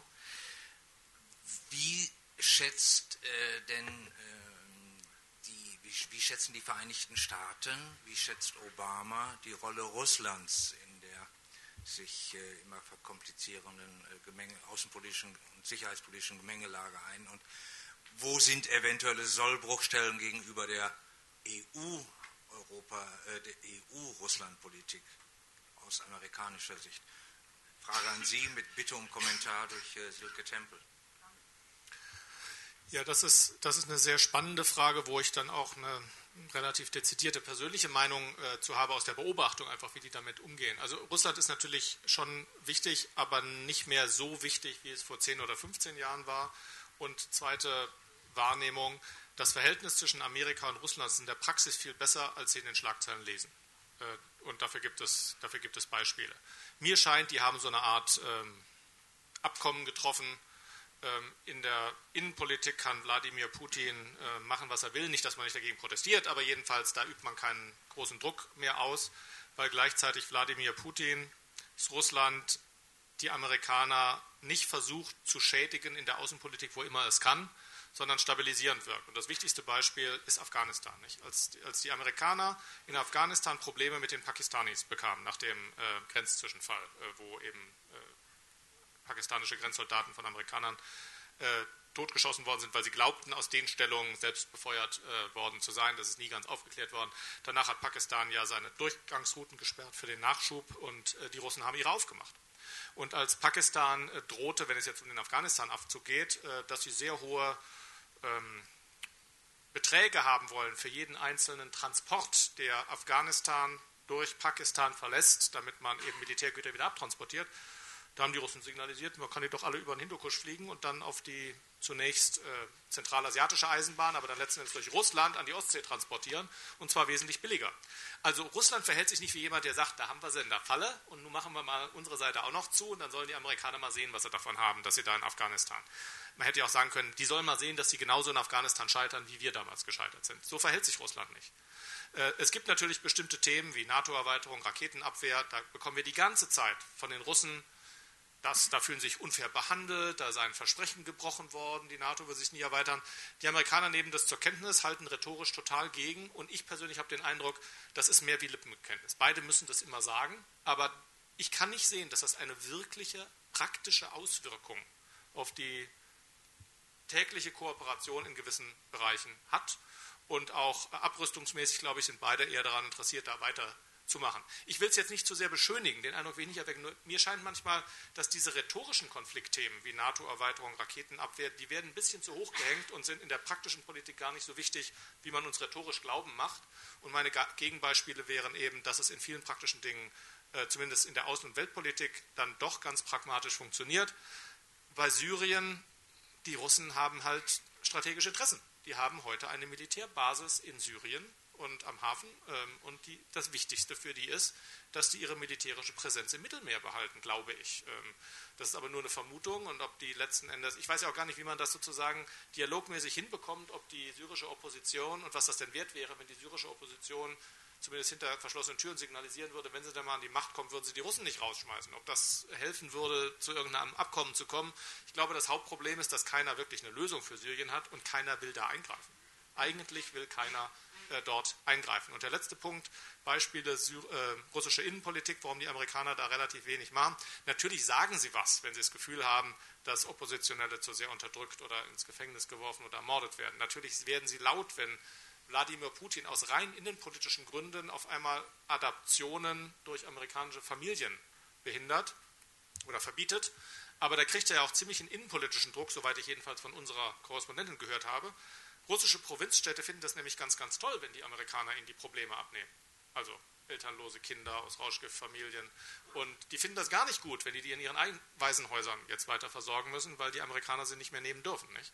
Ähm, das ist jetzt etwas wieder zu flapsig über ein ethisch ernsthaftes Thema gesprochen, wie äh, Silke Tempel das vorhin an einem anderen Beispiel sagte, aber ähm, nur mal sozusagen diese unterschiedlichen Interessen und wo es auch dann dazu kommen kann, dass das, was Putin als nationale Stolzpolitik verkauft, nicht unbedingt genauso in der Innenpolitik gesehen wird. Also, ich bin weder ein Russland-Spezialist, noch bin ich ein Spezialist dafür, wie die USA Russland sehen. Aber äh, als Beobachtung folgendes. Ich glaube, den Amerikanern ist vollkommen klar, dass die Russen nach 1991 zu einem Kragenbären geschrumpft sind und gerne immer noch ein Grizzly wären. Das heißt, der Phantomschmerz der ehemaligen Supermacht ist selbstverständlich noch da. Die, die Haltung würde ich eher so einschätzen, dass sie durchaus pragmatisch ist, aber mit, mit einem Abstand. Man, braucht, man weiß ganz genau, dass man die Russen in vielen Dingen braucht. Man braucht sie nicht nur für, für Afghanistan, äh, man braucht sie auch für Iran. Ähm, ganz wichtig, wesentlich wichtiger noch im Augenblick als viele andere Sachen. Aber das ist ein pragmatischer Umgang, der auf etwas verzichtet, was ich in, in Deutschland immer ähm, das, das Bärenumarmertum nenne. Also ich meine, es gibt hier immer so eine ganze Gruppe von Bärhaggers, die finden, man muss ganz, ganz doll Russland lieb haben und dann werden sie sich schon ändern. Und deswegen darf man sie auch nicht so doll kritisieren und deswegen darf man auch nicht so doll gegen Putin hetzen und deswegen darf man die Prozesse gegen Pussy Riot auch nicht so doof finden und so weiter und so weiter. Das ist, glaube ich, schon nicht... Ähm, das ist keine Linie, die die USA besonders nachvollziehbar finden, weil die auch mit Pragmatismus nichts zu tun haben. Sie sind da, sie haben eine bestimmte geopolitische Situation, ähm, sie sind ähm, Energieleister, auch für Europa verlässlicher soweit. Man versteht nicht so ganz, warum man sich in solche Abhängigkeiten begibt. Aber Russland wird gebraucht. Und äh, wenn, wenn ich das jetzt mal mit so, einem, mit so einem abschließenden Eindruck nochmal hier weitergeben darf. Im vergangenen Jahr in München war eine der, war die große Geschichte, kriegen es Hillary Clinton, Leon Panetta, die Europäer und Lavrov hin, sich auf eine Syrien-Resolution zu einigen. Und die ist gescheitert. Und in diesem Jahr hatten sie mehrere Vertreter der syrischen Opposition da. Die waren im letzten Jahr noch gar nicht wirklich identifizierbar, aber Al-Khatib war da. Er hat sich sogar mit, mit dem iranischen Außenminister getroffen. Und diese Leute saßen auf dem Panel und haben im Grunde genommen geschluchzt darüber, dass da kein Eingreifen stattgefunden hat und dass es im vergangenen Jahr nicht zu einer Resolution gekommen ist. Und man konnte sich des Eindrucks nicht erwehren. Wie wäre es denn gewesen, wenn im letzten Jahr tatsächlich eine Resolution gefunden worden wäre, die die Russen so weit beruhigt hätte, die wollten nach Libyen nicht nochmal einen Regime-Change. Das nach der Libyen-Resolution war ihnen klar, die fangen an mit Flugverbotszone und danach ist es irgendwie Regierungswechsel oder Regimewechsel. Ja? Das wollten sie nicht für Syrien. Aber was wäre gewesen, wenn es tatsächlich eine Kompromissformel für Syrien gegeben hätte und man tatsächlich Assad langsam abgelöst und einige Kräfte da drin behalten hätte? Ich bin überhaupt nicht sicher, dass Syrien stabilisiert worden wäre. Aber jetzt ist Syrien ein vollkommen, aber auch vollkommen zerstörter Staat. Und das hat man gespürt. Ich glaube, Russland hat ein Ansehen mittlerweile im Nahen Osten, das schlechter ist, als es das der USA jemals, selbst unter Bush-Zeiten gewesen ist, weil sie Syrien gestärkt haben.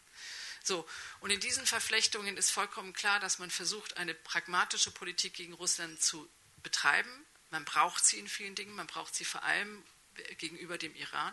Ich glaube nicht, dass man sehr glücklich ist über die Haltung in Syrien, auch wenn man nicht gewusst hätte, wie man eingreift. Aber unter Umständen hätte es einen Funken gegeben, zu sagen, dieses Land wäre heute vielleicht nicht so zerrüttet, wie es das ist. Das wird Jahre und Jahrzehnte brauchen, bis sich da überhaupt wieder irgendetwas regt und aufbaut. Aber man muss eine allzu große Nähe auch nicht haben.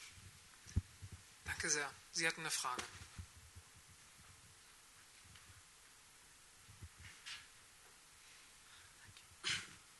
Ja, Ahmed ist mein Name, FU-Promovierende. Danke für die, so, die Rede. Ich äh, möchte äh, zuerst eine kurze Anmerkung. Sie haben gesprochen, dass die Amerikaner und Europa, äh, Europäer äh, sich weniger verstehen. Sie meinen vielleicht die Eliten, diejenigen, die Entscheidungen treffen und so, und so fort. Ich denke, vielleicht diese unterschiedliche Poli Politi Politik in Europa und Amerika. Vielleicht kommt grundsätzlich von unterschiedlichen Interessen in der Welt und nicht, dass sie nicht einander verstehen können nicht oder weniger verstehen. Diese unterschiedlichen Interessen äh, äh, dazu führt, dass sie unterschiedliche Politik treffen. Das ist äh, eine, ein Punkt. Und natürlich, die Welt hat sich ganz groß äh, verändert nach dem, äh, nach dem sozusagen Kalten Krieg.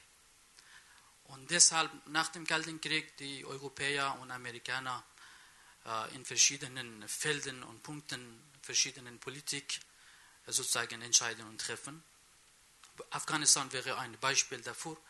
Immer wieder, wir, wir sehen in zivil, auch in militärischen Bereichen unterschiedlichen äh, sozusagen Entscheidungen. Und das wäre vielleicht ein Grund, warum wir, wir sehen nicht so eine erfolgreiche Politik in Afghanistan. Und das ist fast ein gescheiterte Projekt heutzutage. Und meine Frage wäre, äh, welche geopolitisch gesehen, geopolitisch, welche Interessen Amerikaner folgen in Afghanistan und wie unterschiedlich sind diese Interessen äh, mit Europäern? Danke. Vielen Dank. Das ist eine konkrete Frage, eine kurze Antwort. Was sind die geopolitischen Interessen der USA und was sind die Europas? Ja, nochmal kurz zu dieser Unterscheidung. Ist es mehr, ist es vor allem interessengesteuert oder welche Rolle spielt das Unverständnis? Ich gebe Ihnen einfach mal Beispiele. Die Euro-Krise hat nichts mit unterschiedlichen Interessen zu tun, sondern nur mit Unverständnis. Es ist ja nicht so, dass die Europäer ein großes Interesse haben, den Euro zu erhalten und die Amerikaner sind ganz daran interessiert, dass der Euro in die Knie geht. Sind sie nicht. Gegenteil. Sie verstehen es nur nicht. Ich lebe ja dort und lese, also ich lebe in Washington, nicht? ich lese amerikanische Zeitungen und ich kann seit vier Jahren nur den Kopf schütteln, wie mehrheitlich über Europa und den Euro geschrieben wird. Wie immer wieder geschrieben wird, Silke Tempel hat ein Beispiel genannt, aber es ist seit vier Jahren so, äh, dass der Euro kurz vorm Auseinanderbrechen steht. Und dann denke ich am Anfang immer, ja, vielleicht haben die Amerikaner recht. Ich glaube ja, die haben einen distanzierteren Blick, die können vielleicht die Statistiken besser lesen und wir sind zu sehr Europäer mit so, Wunschdenken. So ganz sicher sind und, wir ja trotzdem noch nicht. Ja, aber, also wir, ich finde diese ja. Diskussion manchmal etwas präsentistisch. Jetzt haben wir gerade mal wieder eine Durchatmephase und äh, in drei Monaten kann das Haus wieder in Flammen sein. Da reden wir anders. Das mag sein, aber jedenfalls sind die, seit vier Jahren wird der Untergang des Euro immer für nächsten Monat vorausgesagt. Und irgendwann muss man darüber nachdenken, warum seit vier Jahren die Mehrheit der amerikanischen Prognostiker einfach Unrecht hat. Und die sind inzwischen auch verunsichert. Nicht? Aber das hat, es gibt dafür einen Grund. Äh, erstens mal diese Institutionenmissverständnis, man versteht es einfach nicht. Und wenn man was nicht versteht, dann ist man misstrauisch und so weiter. Nicht? Aber es hat auch etwas zu tun mit unserer Selbstdarstellung. Sie müssen mal sehen, in welchen, warum können wir Europäer, also die Europäer der Eurozone, sich nicht durchsetzen mit ihren Argumenten, ob die nachher gut sind und ob sie recht behalten. Wir können ja nicht mal unsere Argumente an den Mann bringen. Ja, weil wir uns auch nicht, vielleicht nicht ganz einig sind. Was, nein. Was Frau nein, Merkel möchte, gibt, ist ja nicht unbedingt es das, gibt ein was viel Wichtigeres. Es gibt was viel, viel Wichtigeres. Weil die Länder, die in der Eurozone drin sind, keine Sprache haben in ihren Medien, die woanders verstanden wird. Die wichtigsten englischsprachigen Länder sind nicht drin. Sie verstehen es nicht. Die Briten sind auch auf Anti-Euro-Kurs. Und ich kann Ihnen versichern, an der Börse in Shanghai und in New York wird nicht vor allem Französisch und Deutsch gelesen. Also die Frankfurter Wir, Gemeinde gehört dort nicht zur Pflicht. Ja, genau. Also die lesen gar nicht qua Sprachbarriere. Nicht? Wir setzen uns deshalb nicht durch. Das, das ist ein ganz wichtiger Punkt, der, glaube ich, nicht versteht. Darf ich dazu kurz wird? was ergänzen, weil Gerne. das nämlich einfach nochmal in diese unterschiedlichen Perzeptionen geht. Was ganz spannend ist, ich meine, vor 30, 40 Jahren, in den Hochzeiten des Kalten Krieges, hatten sie selbstverständlich in Washington DC eine Elite, die fließend Deutsch sprach und tatsächlich diese Medien gelesen hat. Gucken Sie mal heute in den Schulen sich um, wer dort noch Deutsch lernt. Und gucken Sie sich mal in den Eliten, Eliten um in Washington DC, in der außenpolitischen Elite, wer sich tatsächlich intensiv mit, mit Europa beschäftigt und vielleicht außer Englisch noch eine andere europäische Sprache spricht. Gut, Spanisch natürlich, aber deswegen nicht wegen Europa, sondern wegen Lateinamerika. Wenn, dann werden andere Sprachen gelernt. Das ist nicht mehr so, dass man das als das Attraktivste und das Drängendste findet. Nicht, weil man sie vergessen will, die Europäer, sondern weil sie einfach selbstverständlich geworden sind. Aber das führt dann genau zu dieser Art von Kluft, dass man eben auch oft nicht in der Lage ist, diese Dinge zu lesen. Und nur noch das andere Beispiel ganz schnell zu den Strategen. Genau. Auch in Afghanistan haben wir es ja nicht mehr mit Interessengegensatz zu tun. Es ist ja nicht so, dass die Amerikaner eine ganz andere Fraktion stärken wollen oder nicht stabilisieren wollen. Wir haben eigentlich dieselben Interessen. Es ist eine Debatte darum, was hilft und was hilft nicht.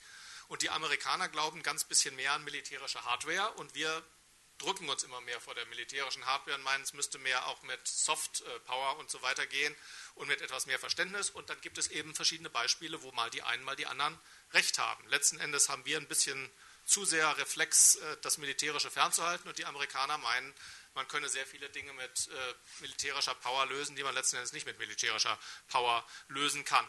Geostrategische Interessen.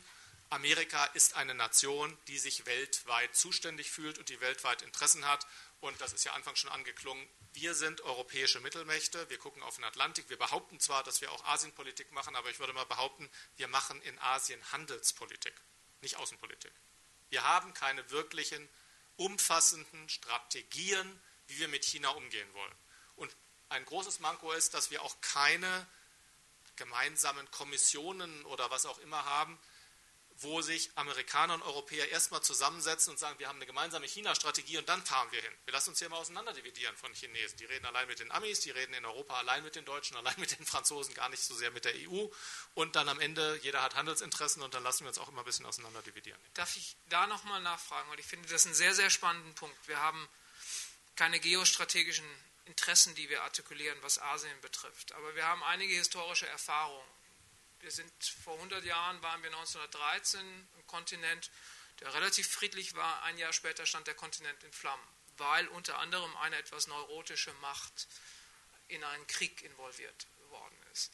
Nun haben wir in Asien eine Situation, die wir halt sehr stark durch die Handelsbrille sehen, die aber, die man genauso in der Analogie sehen könnte, da ist auch äh, Geopolitik am Werk und äh, das ist leicht entzündlich, diese Situation. Und die Amerikaner, Sie haben gesagt, Amerika fühlt sich allzuständig, sie fühlen sich auch äh, ganz selbstverständlich äh, in der Situation, dass sie die Seewege in, im, im, Pazifik und auch in Asien vor der Haustür Chinas, einer anderen neurotisch aufstrebenden Macht, kontrollieren. Haben Sie das Gefühl, Sie beide, dass äh, das Rezept der Amerikaner, sozusagen als pazifische Macht diese, diese Balance zu halten, gemeinsam eben mit den demokratischen Staaten Asiens, mit denen sie eine Wertegemeinschaft teilen, dass das äh, zu dem friedenspolitischen Ziel führt, dass man das genau verhindert, was in Europa vor 100 Jahren passiert ist.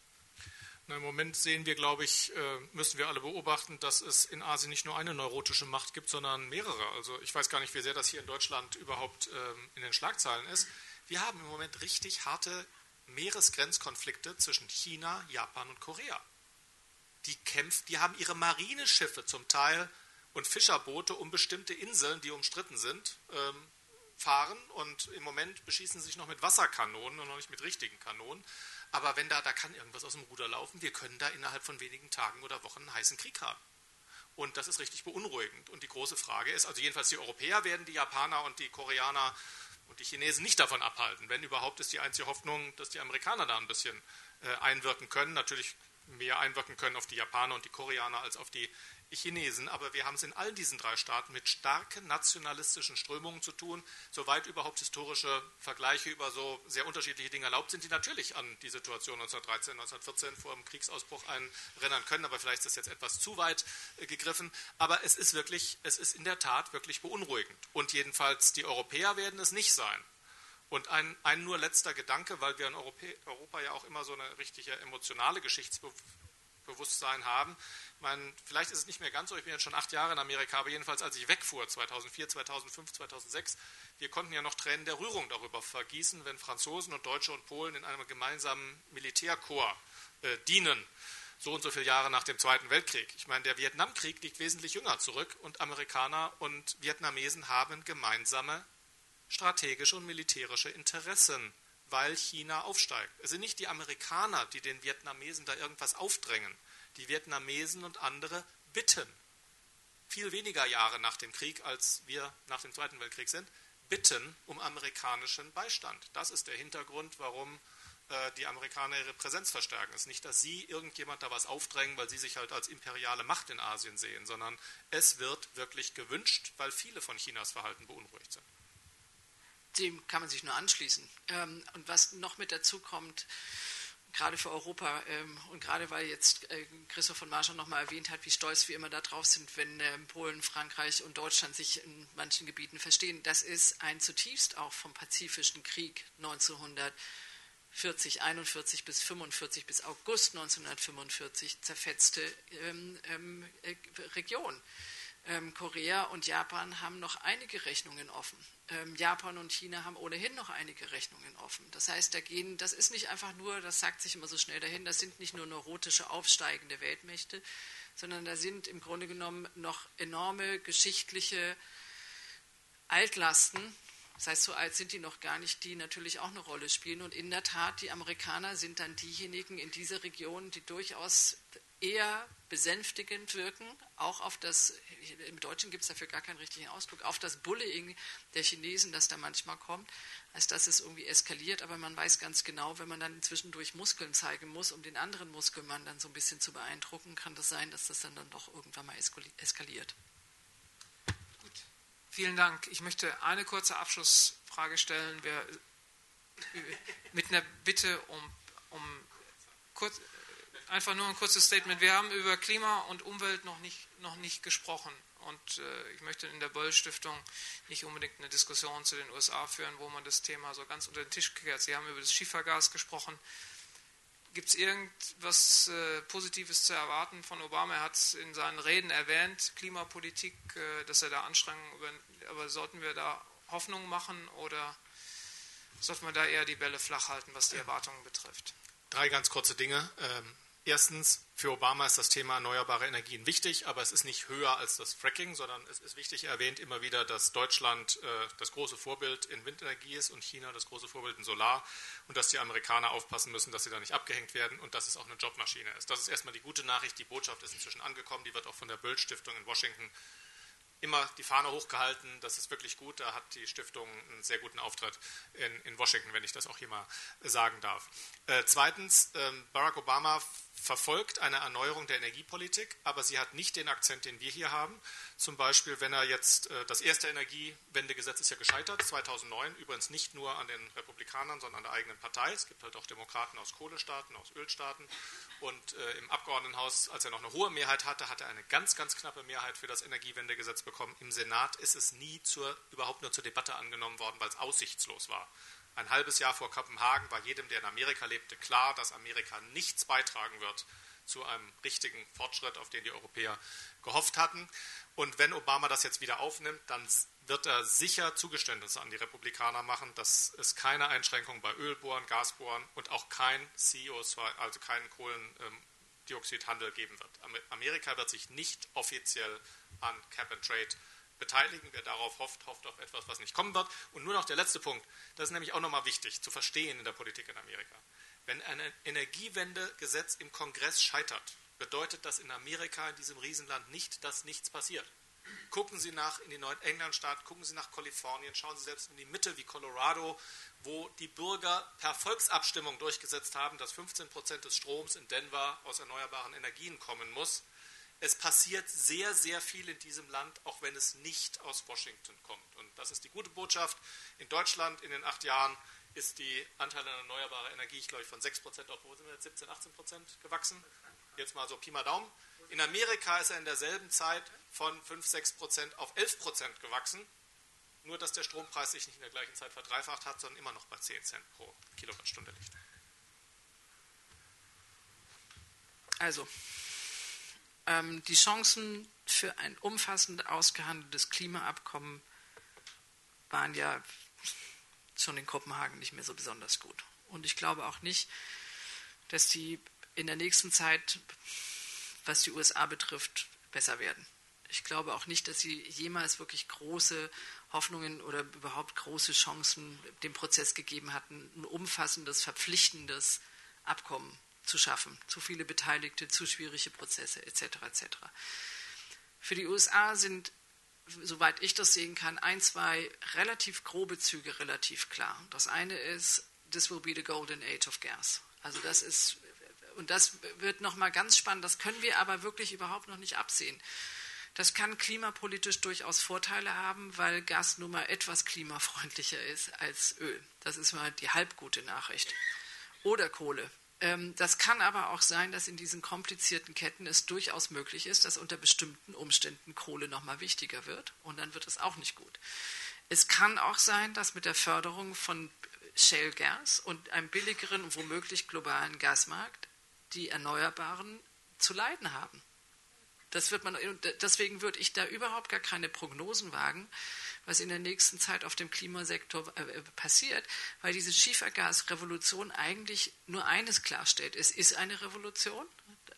Einige besonders große Enthusiasten wie Daniel Jürgen, der, der zwei fantastische Bücher über die Geschichte des Öls geschrieben hat, findet, es ist die Revolution des 21. Jahrhunderts. Ich bin da ein bisschen skeptischer, nur durch die Beobachtung ähm, der Berichterstattung in den vergangenen paar Wochen, in denen bestimmte Erwartungen immer mal wieder runterkorrigiert worden sind.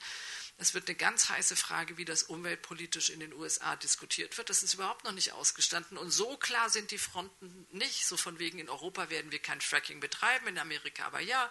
Auch da kommt es wieder auf neue Technologien an. Momentan ist das Problem auch nicht die Chemie, die man reinpumpt, sondern die Unmengen an Wasser, die dafür, äh, die, die dafür notwendig sind ein, ein Faktor, warum China das weniger nutzt als die USA zum Beispiel. Wenn es Technologien gibt, in denen weniger Wasser benutzt werden muss, dann kann das wieder anders aussehen. Also wir können es überhaupt nicht absehen. Und da sind so viele, da sind an diesem, an diesem generellen Strang Schiefergasrevolution hängen so viele Einzelteile dran, wie geht es weg von den, von den Förderungen der, der Erneuerbaren, von der Technologie, die notwendig ist weiterhin im Gebiet der Erneuerbaren. Wird äh, Deutschland, sprich Europa ist ja eigentlich ein europäisches Projekt, die Energiewende schaffen und dann tatsächlich also wettbewerbsfähig bleiben gegen den USA. Das heißt, es ist ein bisschen wie ein Mobile, das hängt an, diesem, an dieser großen Schiefergasrevolution. An einem Ende stoßen sie es an und es können so viele Dinge in Bewegung kommen, die sie überhaupt noch nicht sehen. Das Einzige, was ich wirklich nicht sehe, ist ein umfassendes globales, verpflichtendes Klimaabkommen. Vielen Dank. Das mit dem Mobile ist auch ein gutes Schlusswort. Äh, das könnte auch auf die transatlantischen Beziehungen insgesamt äh, zutreffen. Es sind fest verankert, aber sie können auch ins Schwingen geraten auf äh, unvorhergesehene Weisen. Insofern, es wird spannend bleiben. Ich möchte mich zum einen bedanken bei den Referenten Silke Tempel und Christoph von Marschall für sehr kenntnisreiche und engagierte Ausführungen. Ich möchte mich auch bedanken beim Team der Böll Stiftung, dem Technikteam, äh, Gregor Enste und Sigrid Lokoschus, diese Veranstaltung organisiert haben. Bei all Ihnen die Sie gekommen sind, äh, mitdiskutiert haben. Als Dankeschön gibt es zum einen die Bücher von Christoph von Marschall und draußen gibt es noch Getränke und Brezel, zu denen Sie sehr herzlich eingeladen sind. Vielen Dank und kommen Sie wieder.